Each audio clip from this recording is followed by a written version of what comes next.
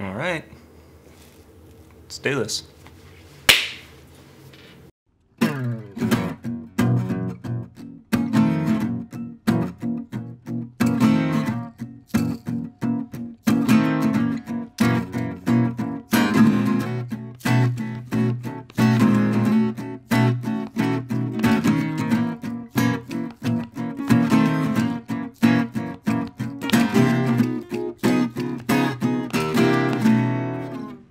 Hello, everybody. Welcome to the official This Is My Bourbon Podcast YouTube page. I am the host of This Is My Bourbon Podcast, Perry.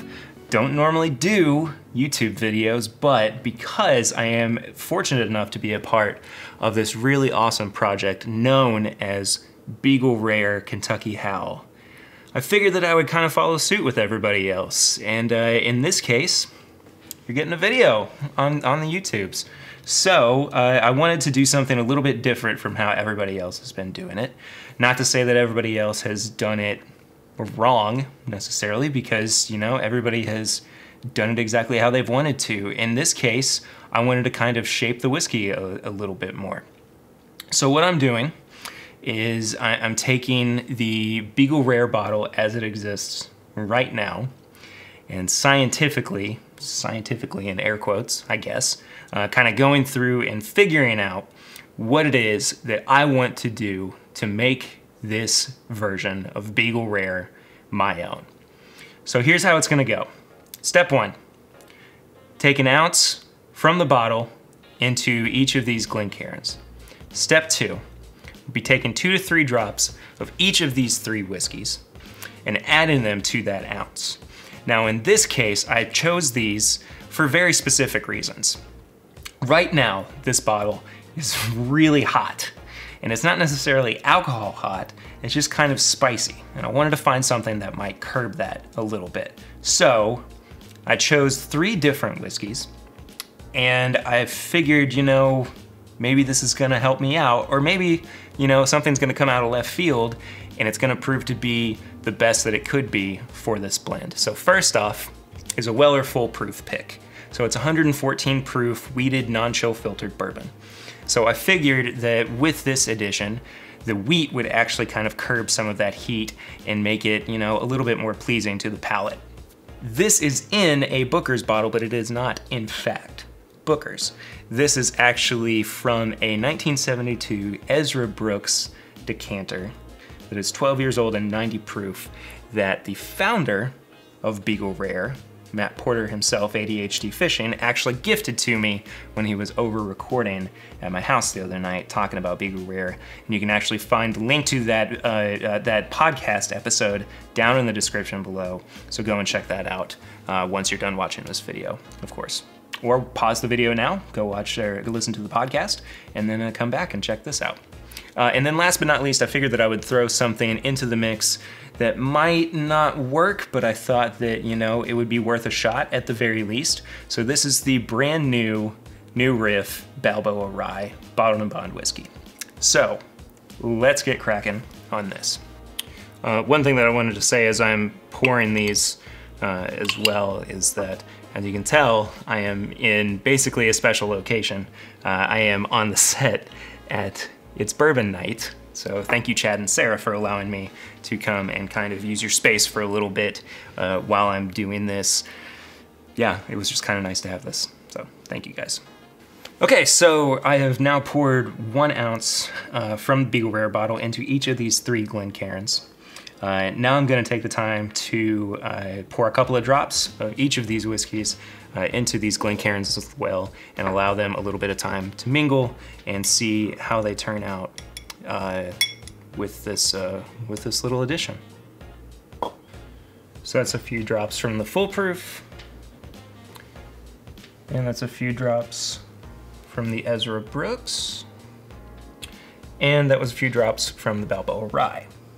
And that's all three whiskeys added into the Beagle Rare. So now I figure out that we're gonna start out with the Beagle Rare and the Weller Full Proof. So let's check this out. So it's definitely cooled that nose down quite a bit.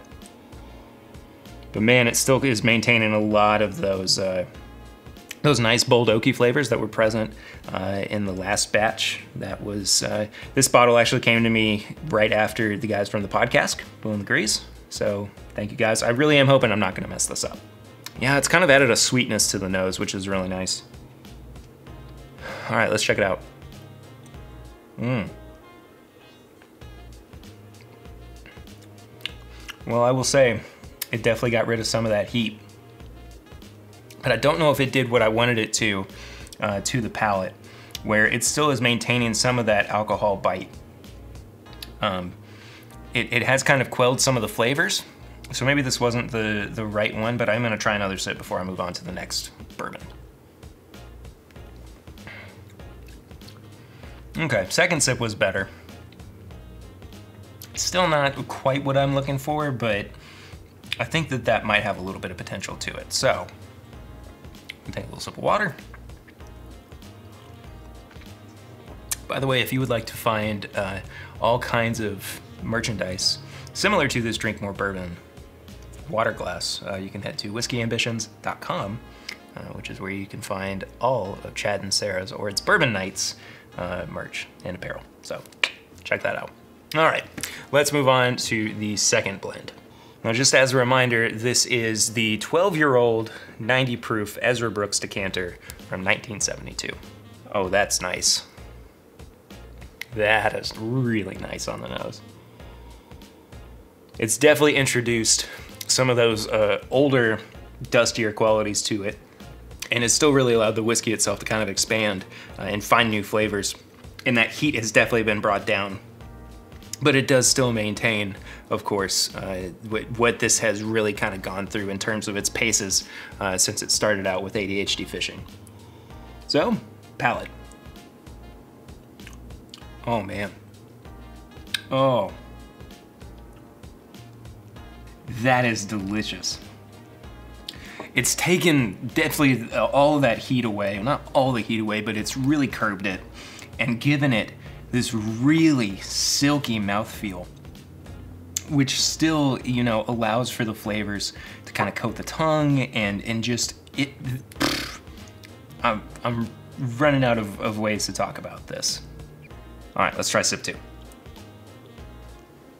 If this doesn't become the one that I put into the Beagle Rare bottle, I will be very surprised, just being honest with you. This is delicious. It is almost like taking the best of the, the world of vintage whiskeys and blending it with these new age whiskeys. And it's, it's, it's very good. But I don't want to, uh, I don't, I don't want to get ahead of it too too quickly, so let's move on to uh, the New Riff Balboa Rye. Oh, this is gonna be, this is gonna be tough. Because that nose is really interesting too. And if I kind of side by side it with the, uh, with the Ezra Brooks nose, it's got a little bit more of a punch to it, I would say, and a little bit more flavor to it as well. Um, but I, I think that, the, you know, I'm really gonna know once I actually get to taste it, so I may as well go ahead and taste it. Okay, okay. I think in this case it might have made it a little bit too rye heavy. Um, I think that it didn't curb the that that heat in the way that I wanted it to, uh, but it does still kind of maintain a little bit of the spice. Uh, but it has kind of introduced a weird, almost metallic flavor to it, which I am not sure is right for this. So one more time, see how this is. Okay, second sip. Really not bad. Really not bad. Um, but I just, th this is not quite what I was hoping for. I don't think. Um, so I'm kind of thinking about something based on how much I have left. Um, let's let's try a little bit of an experiment. Not that this whole thing hasn't been an experiment, but I'm gonna reset my palate. I'm going to blend the first two together, and if it is what I was looking for, great. If not, uh, my answer is probably gonna be this Ezra Brooks decanter. So, We'll just kind of have to see here in a second. So, blend. I'm gonna let it sit for a minute. I'm gonna reset my palette and we'll kind of come right back. All right, let the blend sit for a little bit. Now we're gonna see what it's like when I do equal parts with Beagle Rare uh, and these little bits of the Weller Full Proof in this 1972 Ezra Brooks decanter. So let's check it out. It's gotten really fruity on the nose. A lot more caramel than there's been in a while. Kind of more standard bourbon notes, I would say, on the nose, but um, nothing like, nothing like over the top, I would say. I'm, I'm curious what it's done to the palate, though. Hmm. I am, I'm not so sure about that. it's kind of made it a little too musty, interestingly enough and uh, I'm, I'm not entirely sure that this is what I was hoping that the blend would be. It's definitely off from how much I liked uh, the Dusty addition to it. Um, so I don't know, I'm gonna try it one more time, maybe finish off the sample, maybe give it a little bit more time to, to sit and kind of mingle. Uh, but second sip, let's see. Yeah, I think unfortunately it's gotten a little too bitter, a little too astringent. Uh, the finish is still kind of nice and long, but I don't think that it's really what I was hoping for in seeing, you know, just, and, and to be honest, I mean, this was just kind of me going, well, you know, I liked these two, I liked one better than the other, so maybe I could, you know, add some into, into it together and see what it, if it's gonna actually come out okay. In this case, it just didn't.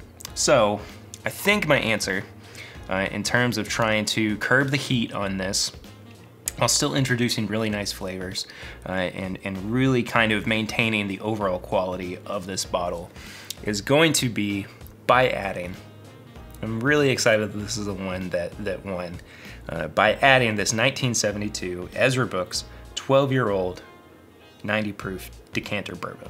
So, there's your winner. This is exciting. I, I was happy to, you know, do something a little bit different. And uh, in this case, it was very different. So let's get blended. So the idea behind uh, you know adding something else to this is that you have to add in as much as you took out, and I think I took out probably about three to four ounces. Uh, when I got the bottle from from the podcast, it was about up to here. So basically, what I'm gonna do is just add as much to this bottle as it takes uh, to get back up to that amount. So, America, that one's for you, Matt Porter. and I am just now realizing that I could use a funnel, so be right back. Okay, funnel has been acquired, thanks to Chad. So, uh, like I said, I'm just gonna pour it back up to the level at which I got it. All right, so I want a little bit more on here, just so I could uh, kind of do a little, do a little taste test and everything, but that has been uh, my addition to the Beagle Rare Infinity Chain bottle. And uh, I tell you guys, this has been a lot of fun. Uh, I want to say thank you first and foremost to Matt Porter or ADHD Fishing for it being interested in having me uh, be a part of this project. Huge thank you to Dixon Dedman who at the, at the very beginning of this said he was in and you know without him none of this would have existed. So well, that's not entirely true. Matt was really the one who got this all together and, you know, made this work.